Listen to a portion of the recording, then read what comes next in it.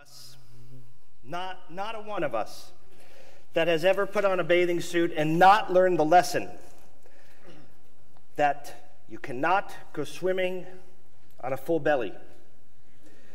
Our parents are still ringing in our ears when they told us, sit down for 15 or 20 minutes before you go back in the ocean or the pool, or else you could get an upset stomach.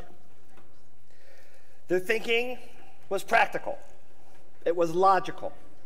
The idea was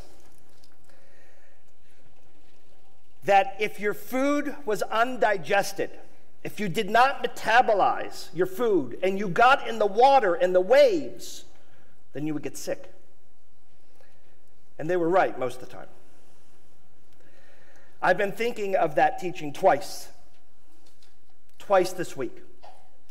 The first is for all of my friends in the area where I grew up, outside of St. Petersburg, Florida, when I was young, who were just recovering from Hurricane Helene, who had just taken all of their flood soaked furniture and moved it to the street, but it had yet to be hauled away.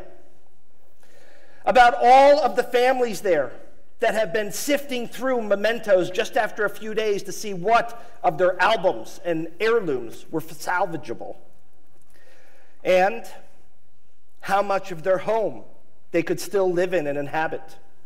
Most of them had not even called the insurance adjuster yet. And then Milton came barreling down. They had no time to digest the loss that happened to them with Hurricane Helene, and they were forced to face another hurricane. They couldn't even see what was salvageable, and they had to hunker down again. I thought of them eating a big meal and getting into a swimming pool. And I'll be honest with all of you. I've been dreading this Kol Nidre. I don't dread every Kol Nidre, but this one I am.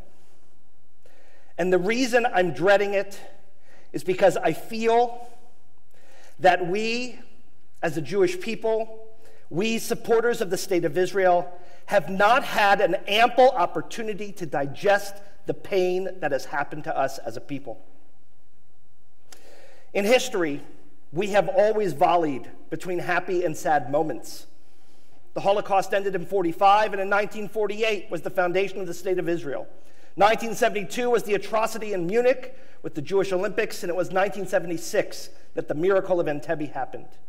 We've always had moments and time in between to metabolize and digest and begin to understand those moments in time.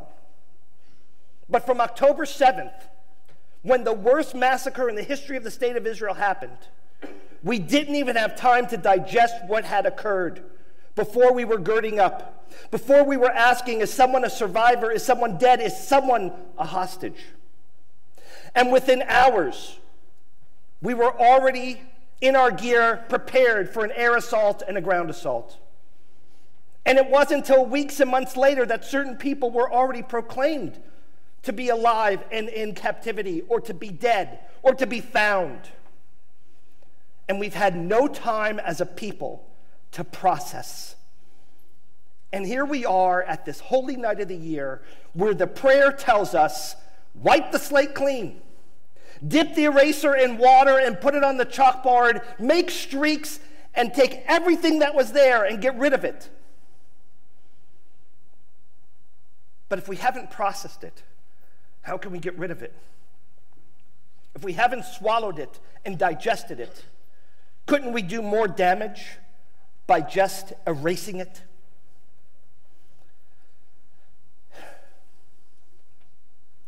As we enter this Kol Nidre, I want to make a prayer as much for me as for all of you.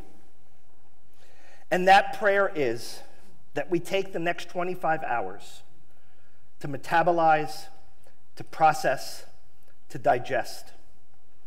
Yeah, we won't be eating for the next 25 hours. And it's appropriate for us to pause before we get into the waves of life and the rough and tumble that the world can offer. But let us take this moment. Let us pause. Let us breathe. Let us digest. Let us mourn. And let us be fortified for all in the year that has happened and that will occur tomorrow and beyond.